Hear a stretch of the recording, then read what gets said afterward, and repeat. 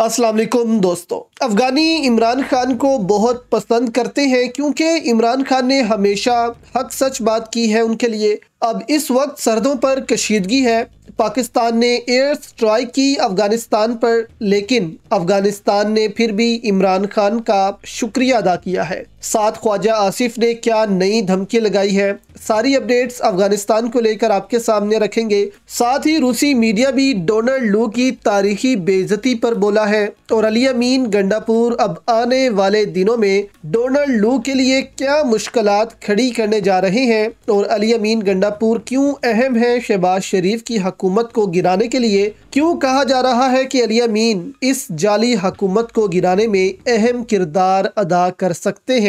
इस पर भी अहम डिटेल्स आपके सामने रखेंगे। अब अफ़गानिस्तान की बात करें तो एक तरफ़ अफ़गानिस्तान ने पाकिस्तान पर बड़ा इल्ज़ाम लगाया है, जो कि बहुत सीरियस नोयत इख्तियार कर सकता है रीजन में। तो दूसरी तरफ़ इमरान खान का शुक्रिया भी अदा कर दिया। अब इल्ज़ाम की बात करें तो अल मिसद उर्दू नामी अकाउंट है अफ़गानिस्तान का। इसने अपनी खबर में बड़ा इल्ज़ाम आयद किया पाकिस्तान पर। उन्होंने कहा कि दुनिया के लिए खतरे की घंटी बज गई है। दाइश खुरासान, जो अफ़गानिस्तान में शिकस्त से दो चार होने के बाद पड़ोसी ममालिक में मुंतकिल हो चुकी है इसकी बाकियात से बाज हमसाया ममालिक बिलावास्ता या बिलवास्ता रबते में है और चाहते हैं कि इनके साथ किसी समझौते पर पहुँच जाए। ऐसे समझौते से इन ममालिक को फ़ायदा होगा। उन्होंने कहा कि दाइश की जानब से इन ममालिक में इनकी रजा के बगैर हमले ना किए जाएँ। ऐसे किसी समझौते के बदले में दाइश को बाज सहूलियात फराहम की जाए और उन्हें खत्े और दीगर दुनिया में हमलों के लिए इस्तेमाल किया जाए। ये ममालिक बिलखसूस पाकिस्तान इसके ज़रिए दाइश को अपने हरीफों के खिलाफ इस्तेमाल करना चाहता है। इसके अलावा ये ममालिक बाज इन दाइशों को फिर से ज़िंदा और फाल करने पर काम कर रहे हैं, जो मुख्तलिफ़ वजूहत की बिना पर मायूस हो चुके हैं और अपने घरों में जा बैठे हैं या हथियार डाल चुके हैं। अगर दुनिया अफ़गानिस्तान के पड़ोस में दाइश के साथ मिलकर की जा रही खतरनाक साजिशों की जानब तवज्जा ना दी तो शायद इन साजिशों के बुरे नतज से दुनिया बहुत जल्द मुतासर हो सकती है। इसके अलावा दुनिया को दाइश के नए पैदावारी मराकज पर भी तवज्जा मबजूल करनी चाहिए, जिसके ज़रिए खत्े और दुनिया के कोने कोने तक दाइशी फ़िक्र पैदा करना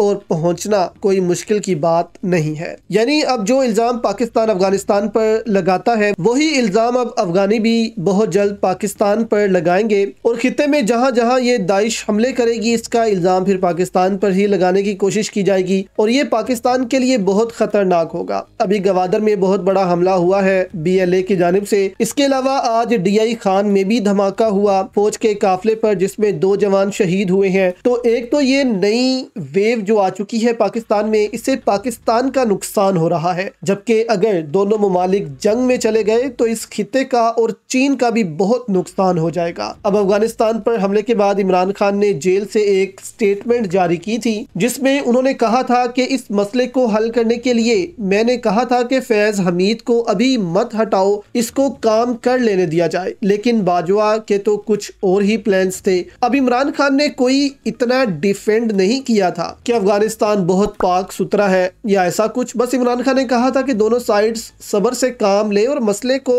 हल करें बैठकर। अब इस पर अफ़गानिस्तान से इमरान खान का शुक्रिया अदा किया गया है। अब अफगान नुमाइंदे हैं सैयद जमाल आगा। उन्होंने अपनी ट्वीट में कहा कि अपनी सबका रवायत को बरकरार रखते हुए पाकिस्तानी हमले के हवाले से अफ़गानिस्तान की हमायत में पहल करने पर हम जनाब इमरान खान साहब का भरपूर शुक्रिया अदा करते हैं। हम तमाम पाकिस्तानी सियासी कायदीन और अवाम से मुतालबा करते हैं कि इस राजेल अमल करने पर फौज की मुखालफत करके अपने मुस्तबिल को महफूज करें। तो अफगान तालिबान को पता है कि इमरान खान के आने के बाद ही दोनों ममालिक के ताल्लुक में कुछ बेहतरी आएगी, लेकिन फिर भी इसके बाद भी अफगान तालिबान को टी टी पी के खिलाफ तो कार्रवाई करनी ही होगी, जिसमें पाकिस्तानी जवान इस वक्त रोज शहीद हो रहे हैं। तो इस चीज़ को खुद अफगान तालिबान को समझना होगा और इसको इम्प्लीमेंट करना होगा और पाकिस्तान के साथ मिलकर चलना होगा। अब पाक अफगान ताल्लुकात के हवाले से लेटेस्ट जो अपडेट्स से हैं। उसमें ख्वाजा आसिफ ने भी अफ़गानिस्तान को एक बड़ी धमकी लगाई है अमरीकी टीवी पर बैठकर। वज़ीर दिफा ख्वाजा आसिफ का यहाँ पर कहना था कि पाकिस्तान, अफ़गानिस्तान की भारत के साथ तजारती राहदारी बंद कर सकता है। अमरीकी नशरियाती इदारे से गुफ्तु करते हुए ख्वाजा आसिफ का कहना था कि पाकिस्तान, अफ़गानिस्तान के साथ मुसल्ला तसादुम नहीं चाहता, ताकत आखिरी चारा है। वज़ीर दिफा का कहना था कि पाकिस्तान, अफ़गानिस्तान की भारत के साथ तजारती राहदारी बंद कर सकता है। अफ़गानिस्तान अपनी सरजमीन पर पाकिस्तान मुखालिफ दहशत गर्दों को रोकने में नाकाम रहता है तो राहदारी बंद कर सकते हैं। अगर अफ़गानिस्तान हमारे साथ दुश्मन जैसा सलूक करता है तो हम इन्हें तजारती राहदारी क्यों फ्राहम करें? ख्वाजा आसिफ ने कहा कि पैगाम भेजने की ज़रूरत है कि सरहद पार दहशत गर्दी बहुत बढ़ चुकी है। पाकिस्तान काबुल में डी फैक्टो हुक्मरानों को ये पैगाम देना चाहता है कि हम मामला इस तरह जारी नहीं रख सकते। उनका कहना था कि फरवरी 2023 में काबुल के दौरे में तालिबान वजरा से कहा था कि वो टीटीपी के माजी के एहसानात की वजह से काबुल के हाथ ना बांधे। अगर टीटीपी ने आप पर एहसान किया है और आप इनके शुक्रगुजार हैं तो इन पर काबू रखें। टीटीपी को हमारे साथ जंग शुरू ना करने दे। आप इनके इतिहादी ना बने। उन्होंने कहा कि उम्मीद है अफ़गानिस्तान टीटीपी को काबू में रखने का वाहिद मुतालबा पूरा करेगा। उन्होंने इस उम्मीद का भी इजहार किया कि अफ़गानिस्तान मुस्तकबिल में पाकिस्तान से फौजी कार्रवाई की ज़रूरत को रोकेगा। ख्वाजा आसिफ ने कहा की अगर वो हमें नुकसान पहुँचा सकते हैं तो हम जवाबी कार्रवाई पर मजबूर हो जाएँगे। अफ़गानिस्तान टीटीपी को पाकिस्तान के खिलाफ इसलिए काम करने दे रहा है ताकि टीटीपी अरकान को दाइश में शामिल होने से रोका जाए। अब देखिए पाकिस्तान पाकिस्तान ने अफ़गानिस्तान को अलाउ किया हुआ है कि वो भारत को अपना सामान बेच सकता है पाकिस्तान के ज़मीनी रास्ते से। लेकिन भारत पर इस चीज़ की पाबंदी है कि भारत यहाँ पर पाकिस्तानी ज़मीन इस्तेमाल नहीं करेगा। अब जो गवादर में दहशत गर्दी हुई है फिर अफ़गानिस्तान के साथ पाकिस्तान के मामला खराब हुए हैं। इससे साफ़ वाजिया होता है कि सी पैक को अब काफ़ी नुकसान पहुँचाया जाएगा और सी पैक को अफ़गानिस्तान में भी दाखिल किया जाना था। तो ऐसा लगता है कि इसीलिए अफ़गानिस्तान के साथ पाकिस्तान की कशीदगी अरूज पर है कि सी पैक का जो अफगान रूट है, वो बंद कर दिया जाए शुरू होने से पहले ही। तो चीन अरबों डॉलर्स की सरमाकारी करके यहाँ फंस चुका है और पाकिस्तान ना चाहते हुए भी अमेरिका के इशारों पर चल रहा है और अपना ही नुकसान कर बैठा है। अब अमेरिका ने जो गेम्स पाकिस्तान में खेली है, इसमें अमेरिका बहुत हद तक कामयाब तो रहा है, लेकिन डोनाल्ड लू के मामले में आकर फंस गया है और जलील हो रहा है दुनिया में। रूस ने भी डोनाल्ड लू की इस बेजती पर रिपोर्टिंग की, आपके सामने रखते हैं, लेकिन पहले अलियमीन गंडापुर ने इस पर क्या कहा है, ये वीडियो जरा आप देखें। डोनाल्ड लू ने जो बयान दिया था और जो साइफर आया था, उसको आपकी नेशनल सिक्योरिटी काउंसिल के अंदर भी डिस्कस किया गया, बाकायदा तौर पे हमारे एम्बेसडर ने बकायदा में तस्दीक की उसकी, कि ये बातचीत हुई है। और उस बातचीत के नतीजे में हमारा बयान अभी भी वही है कि ये एक साजिश थी। और उसके बाद उस पर डिमार्च भी किया गया। और ये कहते हैं कि जी, मदाखलत थी।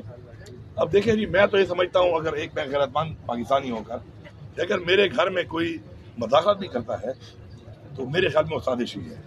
अब डोनाल्ड ट्रंप ने जो वहाँ पे बात की है, एक झूठा बयान से देख के उससे इनकार कर दिया तो मेरे ख्याल में असद मजीद साहब को बुलाया जाए इसको बुला के पूछा जाए कि जो बातचीत थी अगर ये बातचीत नहीं हुई थी तो साइफर भेजा किसने था? ये तो एक बहुत बड़ा सवाल निशान बन रहा है। अगर वो झूठ नहीं बोल रहा और सच बोल रहा है तो फिर वो साइफर था क्या? और जिस साइफर के अंदर इमरान खान साहब को इस वक्त सजा दी जा, जा चुकी है इलीगल सजा तो अगर साइफर था ही नहीं तो सजा किस बात की?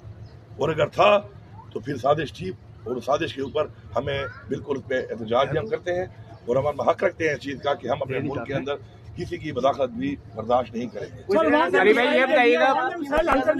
तो अली अमीन गंडापुर का किरदार इसमें अहम हो सकता है और वो डोनाल्ड लू के खिलाफ के पी के हुकूमत को इस्तेमाल करके आलमी दुनिया में और ज़्यादा लॉबिंग कर सकते हैं। असद मजीद को भी इसमें इंगेज करवा सकते हैं। असद मजीद क्योंकि असल पार्टी है इस साइफर केस में तो खतरा ये है कि कहीं असद मजीद को कोई नुकसान ना पहुँचा दिया जाए। क्योंकि देखें वो सच्चा बंदा था तो इसने साफ़ आकर इमरान खान को बता दिया कि ऐसे ऐसे उसने धमकी लगाई है। अब ज़ाहिर है कि इस प्रेशर में वो भी अपना बयान बदल सकते हैं, लेकिन ताकतवरों को खतरा है। जब तक असद मजीद ज़िंदा है तो वो प्रेशर में रहेंगे। तो यहाँ पर उनको भी अपनी हिफाजत पर तवज्जा देनी चाहिए। जब तक ये साइफर का मसला हल नहीं हो जाता। अब फवाद चौधरी की भी तो अली अमीन गंडापुर से ही है। एक हेरिंग के दौरान उन्होंने भी कहा था कि इस हकूमत को घर भेजने में अली अमीन की के पी के हकूमत का अहम किरदार होगा। यानी उन्होंने भी इसी तरफ़ इशारा किया कि इस हुकूमत को अब बचाना है। इसीलिए तो अली अमीन गंडापुर की हकूमत के खिलाफ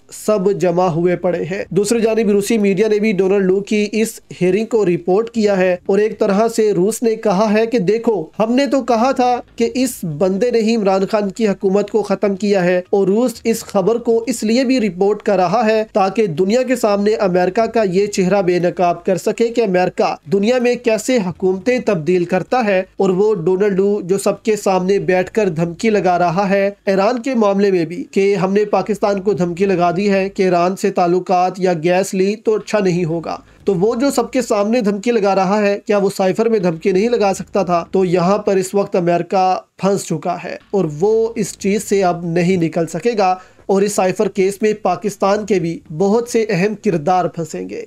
आपकी इस पर दोस्तों क्या राय है? अपनी राय हमें नीचे कमेंट्स में ज़रूर दीजिएगा। इस वीडियो को लाइक और चैनल को सब्सक्राइब भी ज़रूर कर लें। अल्लाह हाफिज़।